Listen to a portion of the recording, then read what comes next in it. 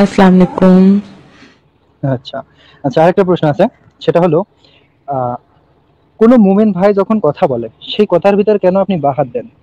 ধরা খেয়ে যাবেন এই ভাই? হ্যাঁ ভাই অনেক এই তো বিরাট একটা ইয়া বলে ফেলেছেন। আপনি যতক্ষণ পর্যন্ত যৌক্তিক আলোচনা করবেন এবং পয়েন্টটা থাকবে ততক্ষণ পর্যন্ত আপনি কথা বলতে পারবেন। কিন্তু যেই আপনি প্রসঙ্গ পরিবর্তন করবেন যেই আপনি দানাবাজি করবেন যেই আপনি অযৌক্তিক কথা বলবেন যেই আপনি রেফারেন্স ছাড়া নিজের মন গড়া কথা ইসলামের নামে চালাবার চেষ্টা করবেন সেই মুহূর্তে আমি থামাবো। এটাই আমার রুল আমার স্টেজে কখনো মিথ্যা কথা মানে অযৌক্তিক কথা তারপরে হচ্ছে কি অপ্রাসঙ্গিক কথা এগুলা আমি বলতে দেই না। এটা যদি আপনার ভালো লাগে তাহলে শুনবেন ভালো না লাগলে শুনবেন না। ব্যাস। আচ্ছা।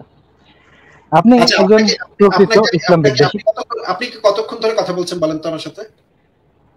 ঘড়ি ধরে তো কথা বলিনি বলতে পারি আচ্ছা, আপনি তো কথা বেশি বললেন। হ্যাঁ আমি তো উত্তর দিচ্ছি। উত্তর দিলে তো কথা বেশি বলতে হবে। মানে যে প্রশ্ন করে সে তো একটা প্রশ্ন করে এক লাইনের হয় প্রশ্ন তাই না? আপনি কি পরীক্ষা দিয়েছেন। কখনো? অনেক তো পরীক্ষা দিয়েছেন তাই না ভাই? হ্যাঁ দিয়েছি। পরীক্ষার। প্রশ্নপত্রটা কতটুকু হয় আর উত্তরপত্রটা কতটুকু হয় একটু বলেন তো। প্রশ্নপত্র তো দুই পেজে কমপ্লিট এপি টপি দুই পেজে কমপ্লিট উত্তর দিতে গেলে পরে ওই কি কয় যে পরীক্ষার এসএসসি পরীক্ষার যে খাতা থাকে ওই খাতার পরেও লুজ নেওয়া লাগে। তাহলে আছে তাহলে তাহলে তাহলে আপনি এই জিনিসটা কি লজিক্যাল না? যে যে প্রশ্ন করবে তার প্রশ্নটা শর্ট হবে এবং যে উত্তর দিবে তার উত্তরটা দীর্ঘ হবে। কারণ উত্তর দিতে গেলে অনেক কিছু ব্যাখ্যা বিশ্লেষণ করতে হয় অনেক ইতিহাস জানতে হয়। তাহলে কি এটা লজিক্যাল না? যে যে উত্তর দিবে সেই বেশিক্ষণ কথা বলবে? তাহলে আপনি যখন মোমিনদেরকে প্রশ্ন করেন সেই প্রশ্নের উত্তর কেন আপনি গ্রহণ করতে চান না? তার আগেই কেন কথার মধ্যে বাহার ঢোকান? তাহলে আপনি আমাকে উত্তর দেন আমি আপনার উত্তর মানে অবশ্যই গ্রহণ করব যদি সেটা যৌক্তিক হয়। কিন্তু আপনি যদি মন গড়া কথা বলেন মনে করেন আপনাকে আমি বললাম যে ভাই আপনার নবী তো ছয় বছরের একটা মেয়েকে বিয়ে করে নয় বছর বয়সে তাকে ধর্ষণ করেছে।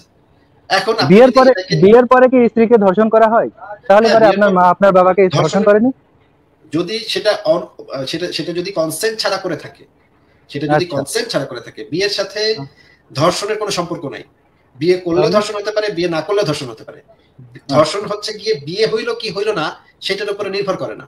কারণ ধর্ষণের আন্তর্জাতিক যে সংজ্ঞা নির্ধারণ করা হয়েছে একজন মানুষের কনসেন্ট এবং উইলিং এই দুইটা ছাড়া যদি আপনি তার সাথে সেই কাজটা করেন সেটা যে কোনো ভাবেই হোক সেটা হচ্ছে ধর্ষণ। সেটা বিয়ে হোক। শাদী হোক যেইটাই হোক না কেন নয় বছরের আয়েশা। নয় বছরের আয়েশা কি কোনোদিন বলেছে যে মোহাম্মদ আমাকে ধর্ষণ করেছে? আপনি তো আমার কথাটা শেষ করতে দিলেন না। আপনি তো আমার কথাটা শেষ করতে দিলেন না। আপনার যে প্রশ্ন বলেছেন সেই প্রশ্ন আমি যে প্রশ্ন করেছি সেই প্রশ্ন আবার কথা বলছেন আপনি মাঝখানে। আমার উত্তরটা শেষ হয়নি। আপনি আবার কথা বলছেন মাঝখানে। এই যে দেখেন কেন থামাই আপনাদেরকে? আপনি বুঝতে নিজে নিজে এখন দেখতে পাচ্ছেন। আমার উত্তরটা তো শেষ হয়নি। তাহলে আপনি এখন মাঝখানে কথা বলছেন কেন? আরেকটা প্রশ্ন যদি এখন আপনি মাঝখানে ঢুকিয়ে দেন তাহলে তো আমার। পুরো বক্তব্যটা তো শেষ হলো না। আপনার তো ওয়েট করতে হবে, আমার উত্তরটা শেষ হওয়ার জন্য ওয়েট করতে হবে। এখন যদি আপনি অস্থির হয়ে মাঝখানে বরবর বরবর করতে থাকেন, তাহলে আমি আমার কথাটা, আমি তো আমার পয়েন্টগুলো হারিয়ে ফেলি। আমি যে পয়েন্টগুলো মাথায় নিয়ে বসেছিলাম যে এই পয়েন্টগুলো আমি বলব, সেগুলো আমি হারিয়ে ফেললাম। তো এইটুকু তো আপনার ওয়েট করা উচিত, যে আমার কথাটা শেষ হোক তারপরে আপনি বলবেন। এটু- এটুকু তো আপনার ওয়েট করা উচিত, তাই না? কথা হচ্ছে ধর্ষণের যে আন্তর্জাতিক সংজ্ঞা আছে, সেখানে কোথাও বিবাহ হয়েছে নাকি হয়নি, সেরকম কোনো কথাই লেখা নাই। আন্তর্জাতিক যে সংজ্ঞা আছে, সেখানে বলা হয়েছে কনসেন্ট আছে সেক্সের সময় কনসেন্ট আছে নাকি নাই। তার অনুমতি নেওয়া হয়েছে, সে উইলিং মানে ইচ্ছা করে সেই কাজটা করেছে কিনা। ইচ্ছা করে সম্মতি দিয়েছে কিনা। ইচ্ছা করে, আবারও বলছি, ইচ্ছা করে সম্মতি দিয়েছে। ঠিক আছে? মানে এমনও হতে পারে যে মনে করেন আপনি একটা স্কুলের হেডমাস্টার এবং আপনার ছাত্রী হচ্ছে গিয়ে বা আপনার ছাত্র হচ্ছে গিয়ে একটা বাচ্চা ছেলে বা বাচ্চা মেয়ে বা ধরেন একটা আঠারো বছরের মেয়ে হলো, তাকে আপনি বললেন, তুমি যদি আমার সাথে না করো তাহলে আমি তোমার পাশ করাবো। তুমি ফেল করবা, পরীক্ষা ফেল করবা। তখন সে হয়তো ইচ্ছা করে আপনার সাথে সেক্সটা করল। সে কিন্তু ইচ্ছা করে এসছে আপনার রুমে কেউ বলতে পারবে না যে সে ইচ্ছা করে আসেনি। সে ইচ্ছা করেই আপনার রুমে এসে করে করছে করছে। কিন্তু আপনি এখানে এক ধরনের ব্ল্যাকমেইল করেছেন তাকে। তাকে একটা ভয় দেখিয়েছেন যে সে যদি আপনার সাথে এই কাজটা না করে, তাহলে পরীক্ষায় ফেল করায় দিব। এই যে এটাও হচ্ছে ধর্ষণের অন্তর্ভুক্ত। আন্তর্জাতিক ভাবে এই জিনিসটাকে ধর্ষণের অন্তর্ভুক্ত বলা হবে।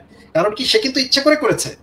তারপরে এটা ধর্ষণ। আবার এমনও হতে পারে, সেই মেয়েটা কোনো অভিযোগই করে নাই। কাউকে কিছু বলে নাই। চুপচাপ, সে একদম চুপ, এই বিষয়ে চুপ। সে যদি কিছু নাও বলে, তাহলেও এটা ধর্ষণ। এমনকি সেই মেয়েটা যদি বোবা কালাও হয়, মানসিক প্রতিবন্ধী হয়, তাহলেও এটা ধর্ষণ। অনেক সময় এরকম অনেক ঘটনা ঘটেছে যে একটা বাচ্চা মেয়েকে এলাকার একটা বুড়া চাচা মিয়া চকলেট দিয়ে বা আইসক্রিম দিয়ে চিপাই নিয়ে গেছে, চিপাই নিয়ে করে ফেলছে, এই কাজটা করে ফেলছে এবং তাকে আরও দুইটা বারবি ডল কিনে দিচ্ছে। বলছে, তুমি কাউকে বলো না।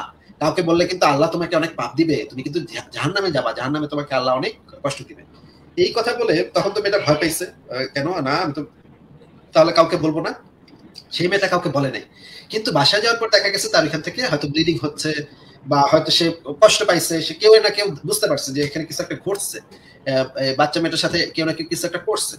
তখন ওই মেয়েটা যদিও বলে নাই কাউকে, তারপরেও এটাকে ধর্ষণ হিসেবেই গণ্য করতে হবে। এমনকি সে মেয়েটা যদি গোবা হয় বা সে মেয়েটা যদি অজ্ঞান অবস্থা থাকে সেই মেয়েটা যদি মাতাল অবস্থা থাকে এরকম পরিস্থিতিতেও যদি তার সাথে এই কাজটা কেউ করে, তখনও সেটা ধর্ষণ বলে গণ্য হবে।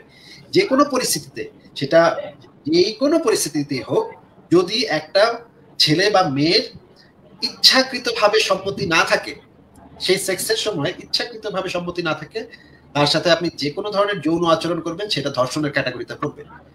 ঠিক আছে?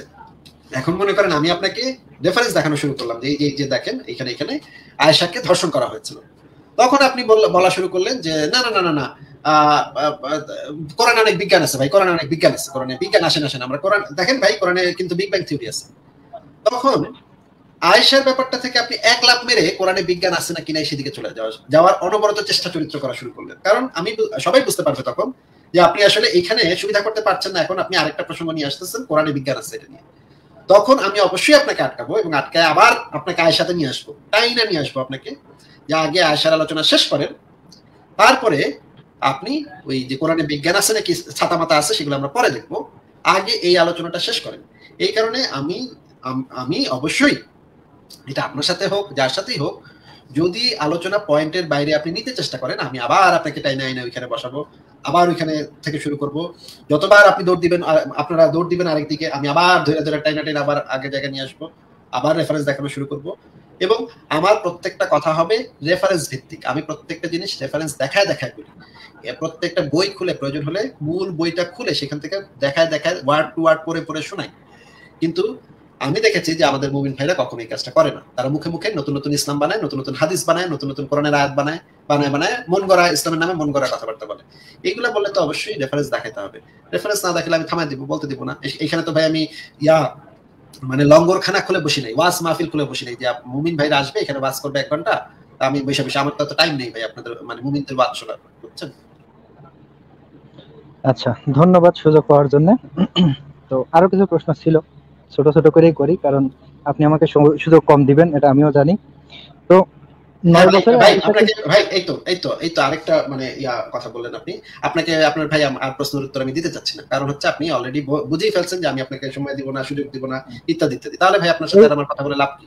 আপনি তো আমি ছোট ছোট প্রশ্ন করব। না এই লাইফ থেকে বের হয়ে আপনি বলবেন? এই লাইফ থেকে বের হয়ে আপনি বলবেন? আসিফ মাঝে তাহলে কথাই বলতে দিলেন না। আমি তো কথা বলে তাকে একদম দাঁত ভাঙা জবাব দিয়ে দিতাম। ভাই আপনাকে আমি আর রাখতে চাচ্ছি না আপনাকে বিদায় জানাচ্ছি। ভালো থাকেন ভাই। মানে দেখেন ওনার সাথে আমি কত মানে ভালোভাবে কথা বলতেছিলাম। কিন্তু আমি আমি নাকি ওনাকে মানে সুযোগ দিচ্ছি না, আমি নাকি ওনাকে কথা বলতে দিচ্ছি না। দেখেন আপনারা এই হচ্ছে মুমিন ভাইদের অবস্থা। মুমিন ভাইদের এই অবস্থা হলে তো আমি কথা বলতে দিব না। এরকম আমি সহ্য করি না ভাই।